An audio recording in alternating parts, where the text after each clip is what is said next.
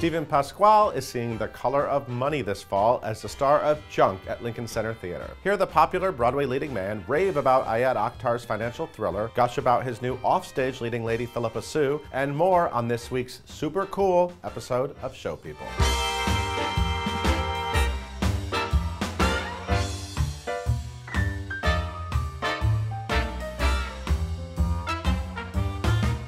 Pasquale, how Hello, are you? darling. So good to see you. Good to see you. First of all, let's just be very clear. This is a, this is kind of a makeup uh, show, people. Yes, right. the, the last time you were Yeah. here, there were some issues with the climate, with the temperature control. if you were, by you were, some issues you mean it was like 108 you were game.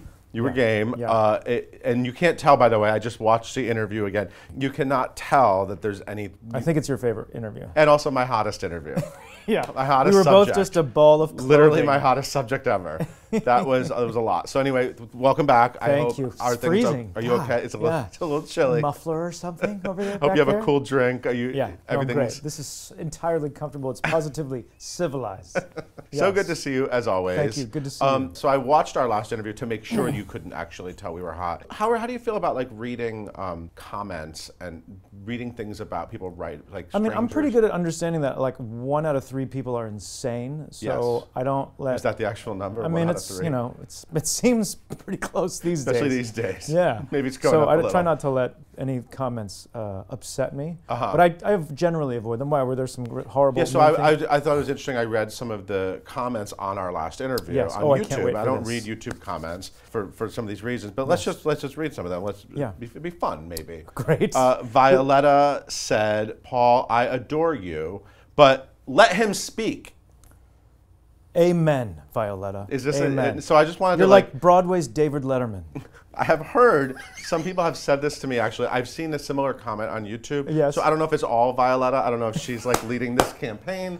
But Against I have, you? I've heard critiques that maybe I don't let people speak. So I just wanted to sort of set this up in the beginning that if Well, you I mean, feel that with me, That's pretty. Tell hard. me. Can I speak? please, please do. I mean, that's a pretty harsh cr- critique of yours. I feel like you do a really good job of filling the experience and the conversation with Dead with- air? with- The- the dead air of- well, because if you don't, there could you know you get like a less gregarious guest. You're gonna have some uncomfortable silences. But maybe I'm not finished. Um,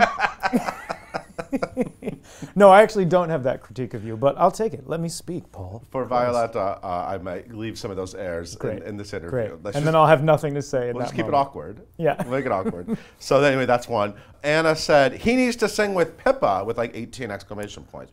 Who is this Pippa? Uh, Phillipa, my wife, my recent bride. I thought you called her Pippa. I do call her Pippa. Oh, okay. Yes, just- but yeah. she, but most people Phillipa probably Soo. know her f- as Phillipa, Phillipa uh, Soo. Soo Pascal. Pascal. I mean, Uh, no, didn't married. take my name. No, no. No, she's F- not Screw the your name. patriarchy, darling. She's Phillipa Soo, but she's my wife, and um, we Yeah, often you're married sing now. You were just engaged last time you were here, so that's some progress, life Correct. progress. Yeah, she's she's she's stuck around. She's thank stuck God. around. Do you want to sing with her? We would love to sing together. We've workshopped a couple things together, uh, and Sang some Billy Joel online. I saw that. we did a little Billy Joel online, and we had an, she did an evening at 54 Below. I joined her there. She's a great singer. I would love to. We'd love to find a musical to do together. Okay, We're so keeping yeah, our we'll do that peeled. for Anna. Thank you, Anna. Yeah, Anna. Rachel just wrote in all caps, "I loved Do No Harm." That must be my mother. And if you, That's hey ma, we get Stop. it. It's you canceled. you It's watched, over. and Dad didn't even watch. It was so bad. really, is that true? I mean, he tried, but he was like, Steve, you know, my dad's the best. He was like, that was not good.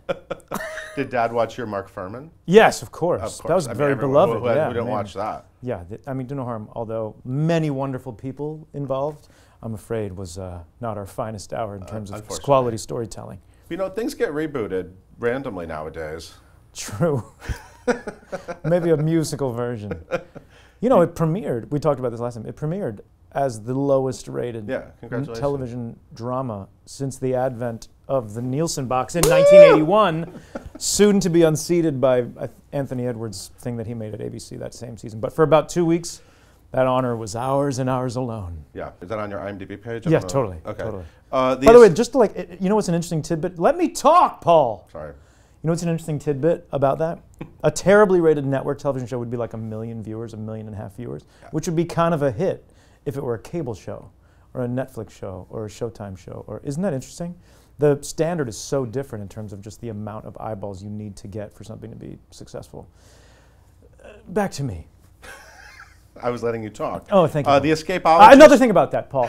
I just I think that no, I'm The kidding. escapologist. I don't know how that this person secured that name, but somehow they did on YouTube. Um. Interesting. Just wrote, "I would love to see him in Streetcar." Have you ever thought about that? You know what? I'm gonna. I just sent Sarah Paulson a text the other day saying, "Let's do Streetcar together." She was like, "I'm terrified, but I love it." So there it is, right there on the Wait, record. did she actually say that? Yeah, we were like, "Look, "That sounds exciting," and then we'll probably never talk about it again. But it was a mo- it was two artists being like, "Wouldn't that be so great and fun?"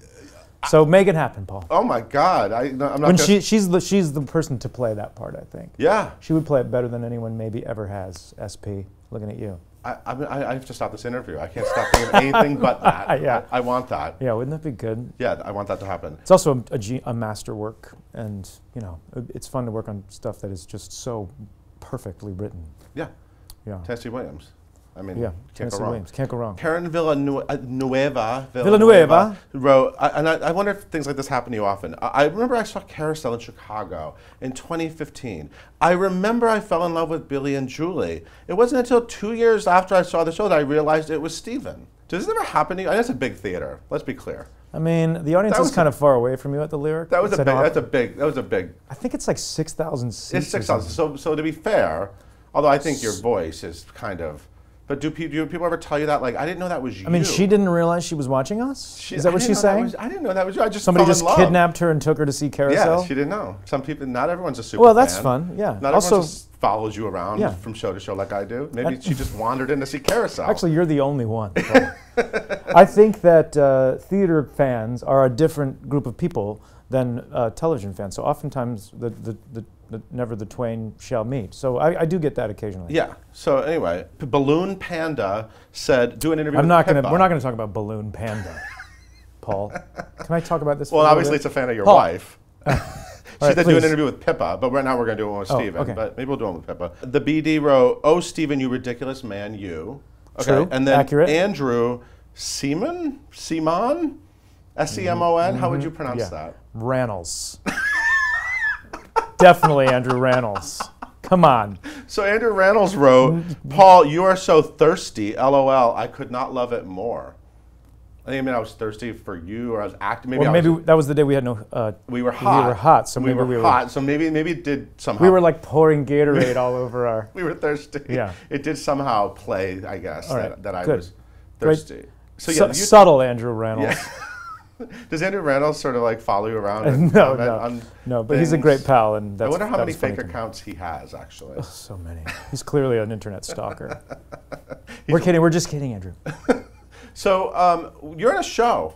You're in a play. It's fantastic. I'm in a great, huge, new American play. Junk. Junk. It's not junk.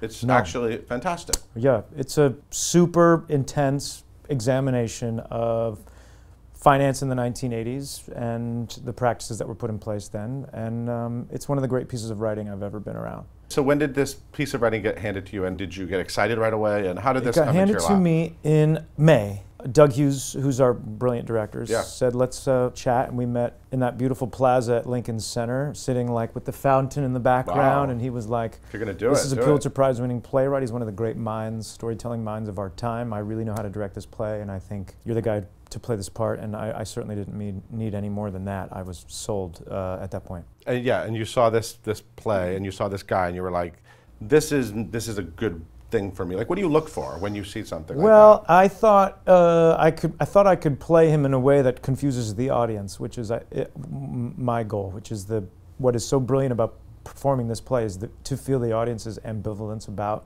this character, who's based on a real life guy, Mike Right. Milken, yes, and to feel them sort of rooting for him in one minute and disgusted by him in the next, to feel them disappointed when somebody that he works with underma- undermines him, even though he's a criminal and breaking the law. And did you know anything about this world? I mean, maybe you've seen Wall Street. Well, I've my brother's a, my brother's an investment banker. Okay. Uh, so I knew a little bit. My father worked in corporate America. Um, so I had your sort of news obsessed layman's knowledge.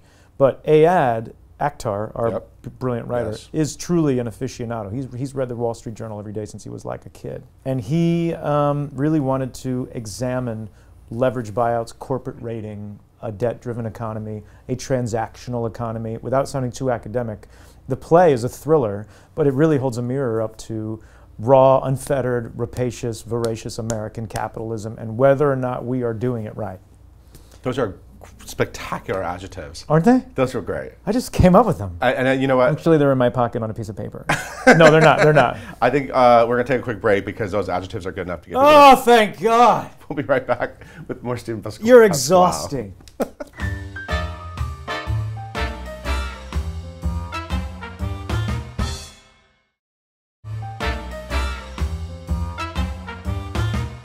And we're back with Mr. Steven Pasquale. How are you, sir? I'm really good. How are you? How's the temperature? It's getting chilly. Sometimes when you know it goes on for a bit- bit, you know, Yeah. we No, might I'm- heat I'm- up the room. I'm entirely comfortable right now. okay, all right, good. I'm glad. So Yeah. let's talk more about this junk. Okay, That junk. junk. you're in every night. Yes. and it's great. It's fantastic theater. Thank you. Uh, it's really exciting the way it's staged. It's Yeah. a big, a big cast, right? I think 23. Wow. Yeah, really And big. Doug Hughes did a great job staging. But you have a lot of words to say. You have a lot of lines. It's like 170 pages, and it's it's only two hour and 20 minute play, so it goes by very quickly. And if you hesitate for a second, the play will leave you in the dust. Is it easier to do a play that has so much bouncing, like to learn the lines? There's a lot of like, you know, It was harder to memorize, but once you know it, because it's very sort of Sorkin-esque, the, Yeah. the speed at which it comes Yeah. at you, it's really fun to play because once you know it, the sort of music of it, Mm-hmm. uh, then it just is what it is. You know what I mean? There's not a lot of pausey, pintery, sort of kitchen sink. I'm going to do this with this moment. It just sort of goes. It's a, it's really very much about the text and the information coming at you. It's really fun to play. What was the hardest thing I've ever been a part of in terms of memorization? hmm. is there any much screwing up? Have there been any like embarrassing moments on stage because there's so much There's been a couple. action and Yeah. Well, the words come at you so fast. You can, you know, no one gets through a performance without screwing up a couple words because they Uh-huh. come so quickly. you've done a lot of research on this world. Yes. So convince the people why this isn't terribly boring. Why isn't the world of finance boring? And I know a lot of people kind of like zone out and they're like, when's he going to do another musical? And you know, like, Here's why: it's a thriller, and it is a it is a one company trying to take over another company, Right. and there's a timeline on that happening. And so the scenes come at you like lightning, and it is high stakes, and people, 15,000 people may lose their jobs. The economy may be affected. The guy who's uh, leading the charge in terms of taking over this company, is the, he's on the cover of Time magazine, and his entire system of beliefs is new and dangerous and possibly criminal. It is not an indictment, it is a brilliant examination of real people uh, acting as they would have and, and did in the 1980s and continue to today. did you hang out with any of these guys down on Yeah, Wall my God, I've had so many Wall Street friends come, and the response is really mixed. They're either like, they get it obviously because it's their world and they love that. They love a story about them. Yeah. Or they're like, I, I feel like Mike Milken is a hero. Uh, the irony being, Mike Mm-hmm. Right. Milken broke the law like a hundred Right. times and went Right. to jail. And Right. but you know, it really asks the essential question: Would you go to jail for two and a half years if you could walk away with two billion dollars? Would you, Paul? That's, that's it. White collar jail, where you get like an Xbox. Oh, Xbox. Yeah, and Xbox. grass. I would. These are the, these are the questions. Imagine the musicals we could do with two billion dollars in the bank. Right. We could Oh produce I all mean, the I old could- dusty old things. I mean, I could produce every musical starring Steven Pasquale I want to do yeah, on Broadway. Yeah, Look and I could that. get paid. Let's get that carousel in here. I know. I mean, there's so many things. Yeah, But would I get you to perform Bridges of Madison County every night? you could. As, as, as often as I want. yeah, for, for, For the the, right for the proper price, you could. So that leads me to how are your finances? Are you a smart guy? If I if I saw your uh, bank accounts, and is, is this making I you smarter? Are you good at investments? I mean, I'll, I'll, let show. you talk now. I'll show my. I'll show our collective asses in terms of artists. We all basically suck at it. I'm probably a little bit better than your average actor, but I still suck at it relative to like another adult. So, 15 years ago, I hired an accountant to take care of my finances so that I could just go and do jobs and work mm-hmm. in Canada and California and New. Right. York and Australia or whatever, and somebody else would worry about paying my taxes and commissioning the people that work for me. And so that was actually one of the best decisions I've ever made because now I just follow along without the stress of like checking my mail at home and I have to pay this bill and that person. And, and so um, that was a wise decision for me. Um, without him, I think I'd, I'd, I'd be in trouble. I'd be in jail for some accidental tax evasion. Okay, so you have it figured out because you have uh, I got a guy. You have third party help. I got, you got a, guy. I got a guy. So it's important to get a guy. It's important to get a guy. How do people find a guy? What if, what if, if you want to give some Uh, advice? I got him. I got the name. Just just, Just email that Just, guy. just tweet at uh, Paul, and I'll give you my guy. Uh, no, I'm pretty good at. it. My father was really good at. it. He was an accountant by trade, so Uh-huh. uh, I'm I'm pretty responsible. Although, you know, I, I think by nature artists are we worry less about adulting. Right. You know what I mean? We just want to like tell it. stories and then people clap and go to the Glass House Tavern afterwards. Since the show was set in the 80s, Junk, Yes, yes. did you have fantasies that maybe you would have like crazy costumes? like in just No, I, it was actually important to me that we just hinted at the fact that it was Okay. in 1980s because the last thing we want is like a wedding singer shoulder pads. you know, and then it feels like a like a like a too light and too ridiculous. Right, of course. So we have a hint of it. Kathy Zuber, genius. She just gives you just enough to remind you that it's the Mm-hmm. 80s. But the play is so poignant and timely now that it literally could be have been written about today. Are there any 80s properties, because you grew up in the 80s? Oh yeah, man, come on. That you would love to see like on stage? Well, you know, I, I think it's hard to make an iconic movie a musical. I think like. Well, that know, will tell Broadway because good luck. And that's all we're Every- doing every, right now. Every show. I know it seems to be all we're doing now, and you know I- th- they can be great. I mean, Full Monty was great. yeah. Um, but it's Ah, just hard to do. revival, Steven Pasquale. Yeah, God, that was was that even that long ago? Yeah. Like, Yeah, it's time. it's time for It's time for a revival. Yeah. yeah. What else? Anyway, yeah. You have a better, you have more encyclopedic knowledge of shows than I do. What else should we revive? What else hasn't been revived that like just is screaming for a revival? I'm putting you on the spot. you are putting me on the All spot. All right, let's talk I'm- about something else. I'm, not, Let's I'm gonna let you talk. this is all about you talking. It's all about No, you. you've clearly that woman affected you when she said stop it's really, it's actually very upsetting to me. well, I was actually excited that, uh, speaking of like Wall Street kind of world, sort Yeah. of, Working Girl, I'm excited that might become a musical. Oh, really? Yes. Is Working. Girl is the William Hurt movie? No. What's Working Girl? No, Melanie Oh, Griffith. Uh, you you could perhaps play the Harrison Ford role, Sigourney Weaver. That's got to be. You don't know Working Girl? I mean, I it's Let I, the River Run. Darling. That was a long time ago. Those You know, uh, th- actually it's a connection to what you're doing because I saw that the same day I saw Wall Street, the movie Oh, Wall Street. man. They came out the same Christmas. I mean, that Wall Street was Oliver Stone, right? Yeah. I mean, think about how.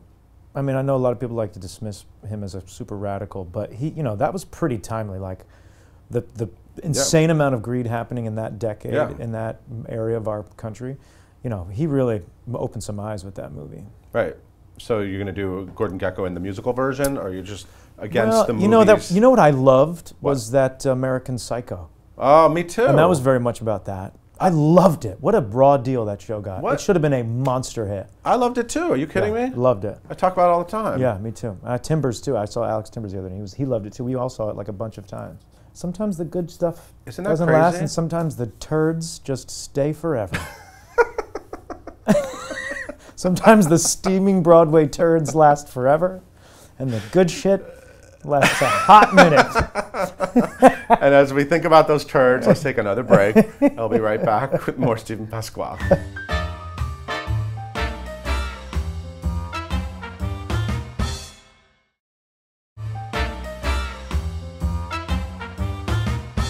And we're back with more Steven Pasquale. How are you, sir? You, you're good? I'm good. You're good? It's chilly. It's chilly in So, on a bicycle built for Soo, tell me about this hashtag. Oh my gosh, that It was was a trending our, hashtag a couple months ago. Was it really? That was our. Uh, we showed up in our, on a tandem bike to our wedding. That was our like cute little bit that we did. And Okay, so wait, anyone that took pictures of the wedding, they were they were to hashtag it a bicycle built for. Soo. I didn't know there was an actual bicycle Yeah. involved in this. Of course, we didn't. You know, classic us. We didn't test drive it or anything, so it was like very dangerous. We almost ruined her wedding dress. It ended up being me like with my feet down, like walking, because we couldn't we couldn't like do it right without hurting ourselves. But that was our intent. And Whose so, idea was that? Uh, Jason Mitchell Kahn, our wonderful wedding planner. If you're Oh. looking for a, um, Okay, a, look a at you. great- You got all you got. You got all kinds of guys. Yeah, I can't do anything other than Finance guy, a wedding guy. Come on, I can. I there's, if I didn't have this job, I'd have no idea what I would do. Do I you can't do anything else. Did he come up with that hashtag on a bicycle built for Soo? I think he may, I think It's he very pretty well specific. He's- yeah, It's he's- pretty crazy. So did the wedding go well? It went terrifically well. We had Yeah. the most fun. It was Yeah. a great group of people, super informal, um, and we had the best time. We got married like Super three informal. blocks- Did you wear a tie? I didn't wear a tie. I went to Catholic school, Paul. See that? So I try never, ever, ever to wear a tie because I got stuck with one for 12 years as a kid. always showing, always showing off a little bit of chest hair. I can't wear a tie. It's just too much for me. It makes me feel like I'm being. yeah, you don't even actually in the show you wear a tie, but not the whole time. No, I well, Mike Milken, uh, loosely based on Milken, he was a California uh, corporate raider. So Okay. we did like some, we made some design choices to try to remind the audience that this Right. wasn't your stereotypical like up, tied up Right. Wall Street guy. Mr. Jonathan Groff, did he was he part of this wedding? He officiated our wedding. That Yeah, happened. he married us. Okay, yeah. that happened. And did he Yeah. did he do a good job? he did a great job. Okay. He did a great Just- job. Just making sure. Yeah, we, we just said just whatever you want, just don't do anything too crazy. Of course, he had Celia Keenan Bolger speak and Renee Elise Goldsberry give a little bit of a speech, and Kelli O'Hara did a rap that Lin Oh. Manuel wrote, Wow. which was hilarious and perfect. And i- i- of course, in true Jonathan Groff style, everything was just right. Wonderful. Yeah. Wonderful. Well, I'm glad that all worked out. And Yeah. How, and how is your beautiful wife? I saw, just saw her on Broadway. She's, in great. I think she'll be here Woman. tomorrow to do show people. She's fantastic. She's great in everything. Pound for pound, there's not very very many more talented people on planet Earth than Yeah. she. Yeah. And doing obviously doing plays and musicals. That's something that you've really embraced, going Yeah. from one to the other, right? Yes, which It's is hard important. to do. People think of you as one thing, Yeah. and so it's important, eh, or has been important to me to just Yeah. always be So- trying to think out of the box a little bit. And, and it's so convenient that you're both doing shows, fall mm-hmm. fall plays. Yes. on Broadway. You're both the same plays. day We do plays, and Yes. we're, we're married, and we both do plays. yes, and there's not much singing in our house these It's days. very, it's very fancy. yeah, yeah. Being married to an actress. Yes. Let's talk about that. So you're both in the business. we're both in the business. Is this something that makes you nervous? Is this something you know how to navigate? Is it something you have to well, like take she- I mean, the reason of? she's amazing is because she's like a super regular person and a, an incredibly low maintenance artist. Right. uh, as am I. So uh, most of the time that is not the case. Actors are are famously insane. Right. So it's Yeah. just I think that's the reason we hit it off so well is because we just like to you know unwind and you know take the pressure off and not Uh-huh. have an enormous amount of stress about this crazy line of work. How Took many uh, times did you see Hamilton? Eleven or twelve times. Okay. I mean I've seen it a lot. Yeah. It's you know a landscape changing. Perfect piece of art. I can't believe my, my friend wrote it. I didn't know he was that much of a genius when we became friends. Right. Yeah, so it's been fun to watch it like really change the world. If only they could sell some tickets. What do you think, uh, Lin should? What do you think he should do next? I mean, like you know, I think about that a lot. I haven't seen him in a while, but I'm dying to know what's going on in that brain of his. Yeah. You know, I, w- I wonder about that too. Like, what would the next? What would the next thing? something be? weird. I think he should get like weird. Okay. You know, not Uh-huh. like a, a totally unobvious choice, which I'm certain he's already. Right. You know, because I'm sure a million people are like, contemporize this story, or let do you know. But I'm sure I'm, I'll bet he's got some really. So you think it's in interesting his brain? I'm sure it is. Yeah. It's been what a year since he stopped Yeah. working on that. Two years. And would you want to be a part of? Yeah. Yeah. Okay. You Come want to get on that bandwagon? My rapping skills are amazing. no, I would. I would, of course. Uh, I would, of course, if uh, anything he writes. You know, wh- when the, one of the world's great writers uh, writes something, um, all of us would like to be a part of it. right. And I love that. So you and Sarah Paulson have figured out that play. Well. I mean, it, I sent her a text. She was like, "Oh my God, that sounds so fun and terrifying." But that's all we She know so. But I, now I'm going to put a lot of peer pressure on her. Yeah, please do. Well, now it's on camera. Yeah. yeah. Um, but do you and uh, Pippa ever do that? Do you ever go like, we should do something together? we, we do occasionally. Yeah? We do. Yeah, we think. What do you uh, do? Like, what do you do Well, they're like home? uh, somebody the other day was like, "You guys should be in um, Pirates uh, of the Penzance together," and I thought, "Pirates of the Penzance." There's no the in that, is it? Is it Pirates of Penzance? I don't know? Paul. These Okay, are questions I would ask. Okay. you. Uh, so apparently that that would be Yeah, great that- and that funny, work. And hasn't been ex, ex, uh, you know visited in a while. Okay, so that must. Yeah, we, we think about that a lot actually. Uh-huh. Although we are both quite fond of new, uh, you know, the idea of a new work. Of So, course. Everybody wants new originating works. something New yeah. works. important things. So you're gonna do. You're gonna go through the holidays, right? And you're both in shows. Mm-hmm. Yeah. So what does that mean? Is that sort of like You know, we have, like, one- your? Uh, you get like the you get the holiday off, and then you do like nine shows the day before and right. five the day so after. So it's not like you get to sort of like go off to like a, No, a no. snowy ski Yeah. resort and like. yeah. I think we'll have to wait on our honeymoon until the summer. Yeah, the, yeah. So wh- when is that? Uh, it's uh, not on the schedule because There's uh, no life got a honeymoon on the schedule. Not yet, but it's but we're, we'll come up with something. Jesus, you want to like There's- put me on the spot or what here, buddy? It, there's not like a. so you haven't planned a honeymoon? What kind of husband are you? it- but there's not like a dream board of like here's idea ideally what we would do or. Yeah, we, we want to go to Italy or uh, Oh. Europe or something, but we just have to find like two weeks where we're not uh, busy. Yeah. And we're very lucky people. We're pretty busy, so And how are you gonna ring in the new year with her? I think we may have a get together uh, Oh. in our in our apartment in Brooklyn. Do you Yeah. have big parties? Is this like Uh, well, we just moved, so this will be like one of our first. So we'll have to see how it goes. okay? You know, see if the neighbors can stand us. Yeah. Oh right, you're new. Yeah, we're in the new- we're in a new Okay. apartment, a new neighborhood. So Okay. we'll see if we see if we really piss off our neighbors on New Year's Eve. If not, then we'll make it a regular Right. situation. Right. Okay. Well, uh, you have other places to go. Yeah, I'm going to go you? talk finance on Wall Street. I You never actually, thought I'd say that out you're loud. in junk, you have to go speak Yeah. about. you have to- Yes. And you speak very intelligently about these things, but it's impressive. Well, but I'll be with Ayad Akhtar, who really is an aficionado. So any questions that are hard, I just literally look at him as if to say, "Can you take this one?" Well, thank you for being here. Thank you for Uh, having me. I hope it was more comfortable. Thank you for having the air conditioning on Experience. and working. And everyone needs to see Junk at the Vivian Beaumont Theater. I mean, it's true. You guys love seeing a show at the Vivian Beaumont. Yeah, It's and if you love it, you can be a junkie. Yeah, it's amazing. Thank you, Steven. Thank you. Thank you for watching. We'll see you next time. You knew you had to do that.